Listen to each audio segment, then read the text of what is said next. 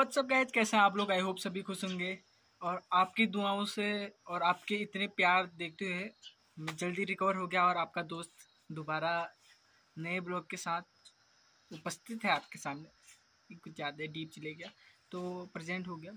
तो गाइज़ आज का ब्लॉग हम ऐसे नॉर्मली घर घर के ब्लॉग में ही बनाएँगे। अभी मैं ट्रैवल कर नहीं सकता बिकॉज़ मेरे पैर में अभी भी मतलब थोड़ी बहुत चोट अभी भी है।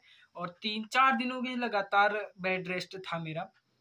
तो डॉक्टर के वहाँ कल आ, मैं कल नहीं परसों पट्टी चेक कराने गया था चेंज सॉरी चेंज कराने ड्रेसिंग कराने गया था तो उस टाइम पे उन्होंने बोला था ठीक है पैर में कुछ ज़्यादा चोट नहीं है जल्दी रिकवर हो जाओगे।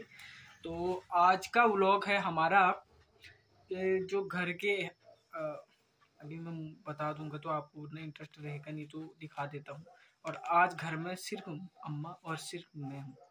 ना अम्मा और मैं हूँ और कोई नहीं तो देखते हैं।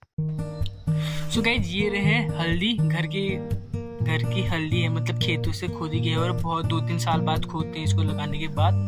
तो ये रही अभी इतना सा मतलब इसे आधा आधा दादी ने काट के जो हमारे वहाँ बड़े बर्तन तौल बोलते हैं, तांबे का बर्तन को तौल बोलते हैं बड़े वाले को तो उसमें रख दिया गया है। और गाइज़ ये ये वाली हल्दी बहुत जगह काम में आती है, जो पूजा पाठ पूजा होती है हमारे यहाँ, उसमें भी आती है और बहुत चीज़ों में काम आती है।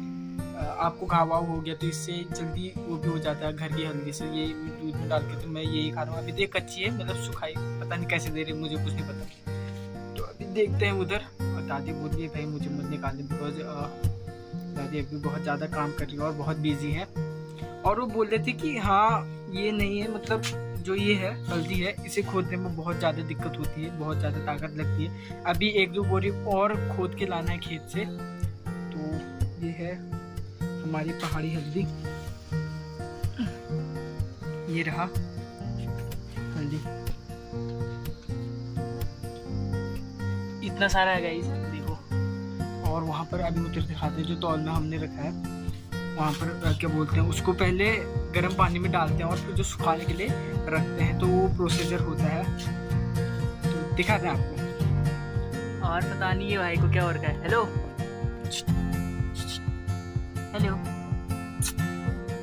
रगी, बेटा ये देखे शायद हमसे बात नहीं करना चाहता। सो गाइस अभी यहाँ पर में रख रखा है भाई ये।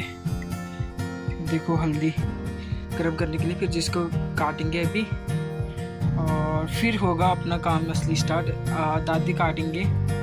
दादी, मुझे तो काम करने के लिए मना कर रहे हैं। तो मैं भी अगर बोलेंगे तो काट लूँगा मैं भी। और ये अभी गर्म होंगे। तो अभी इसे गर्म होने देते हैं और उसके बाद इसको काट के सुखाया जाएगा। तो वो अभी आपको दिखाते हैं घर की जो हल्दी होती है। आप बाज़ार से लाते हैं और मतलब पाउडर वाली आती है। बट इसमें बहुत ज़्यादा पता नहीं प्रोटीन मिनरल जो बोलते हैं मतलब बहुत पौष्टिक होता है और नेचुरल है। तो इसकी वजह से बहुत ज़्यादा अच्छा भी होता है। बहुत चीज़ों में काम भी आता है और ये हल्दी मतलब हमारा हमारे लिए तो कम मतलब कम का सॉरी ये क्या बोल रहा हमें? हमारे लिए तो ज़्यादा होता है और मतलब जो बचता है तो हम अपने जो सगे संबंधी होते हैं उनको भी दे देते हैं, जो लेने के लिए आते हैं और ज़्यादा बचता है तो कभी कभी बेच भी देते हैं एक दो कट्टे तो हल्दी से इसका बेनिफिट ये होता है कि मतलब हाँ आपको बाहर से हल्दी नहीं लेनी पड़ेगी। अभी जल्दी जल्दी से हो गए तो कुछ आधा एक घंटा, दो घंटा लगेगा तो उसके बाद मिलते हैं जब ये हल्दी कटेगी उस टाइम पे, ठीक है? A few moments later.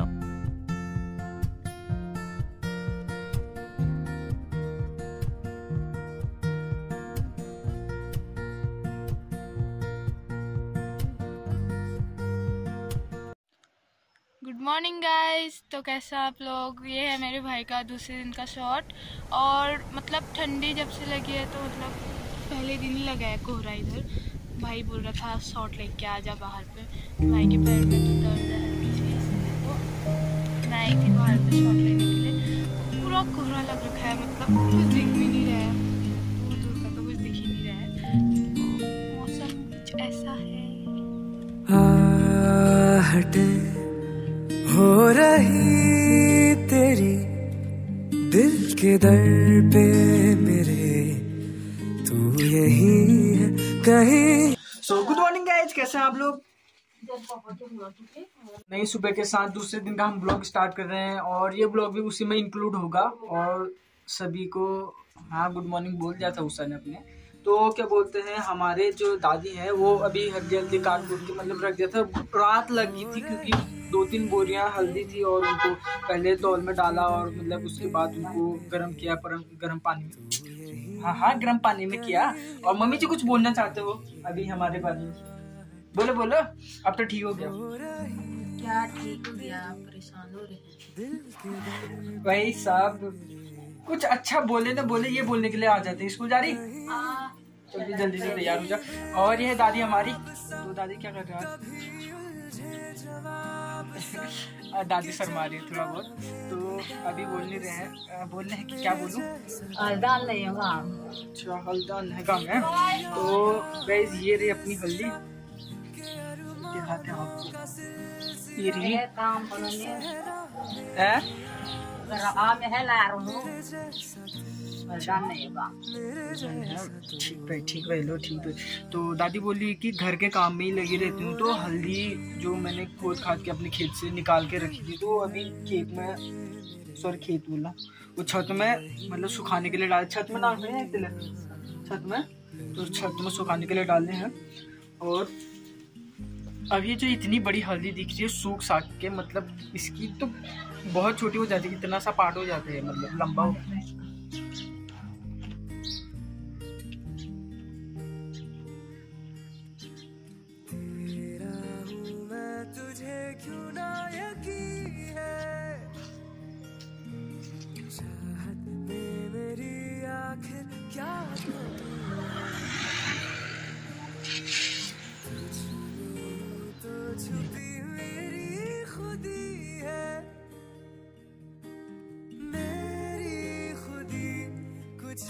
सही।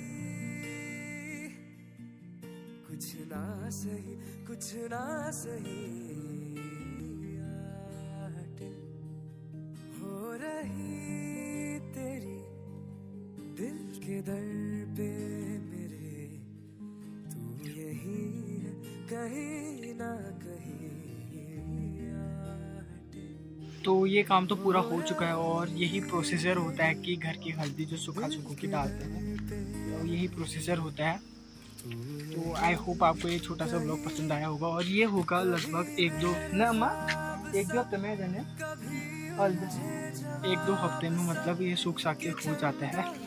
तो आई होप आपको ये छोटा सा ब्लॉग पसंद आया होगा। तो ब्लॉग पसंद आए तो लाइक एंड सब्सक्राइब कर दीजिएगा। और हमारा एक एम है कि हमें अगले महीने दो तारीख तक वन के अपने जो फैमिली यूट्यूब फैमिली कंप्लीट करनी है तो जो मेरे फ्रेंड्स लोग हैं जितने भी लोग हैं तो उनसे मेरी एक हम्बली रिक्वेस्ट है कि भाई अब के जो भी सगे संबंधी हैं और जो भी हैं मतलब दोस्त फ्रेंड सबके फ़ोन से कर दो लेकिन मतलब प्लीज़ कर दो यार। आ, बहुत मेहनत करता हूँ ये ब्लॉग बनाने के लिए। अभी तो पैर उतने अच्छे लायक का है भी नहीं और मैं लंगड़ा लंगड़ा के चल रहा हूँ भाई। तो कर दो। ठीक है? तो मिलते हैं ऐसे अमेजिंग और इंटरेस्टिंग ब्लॉग में। तब तक के लिए ठीक है बाय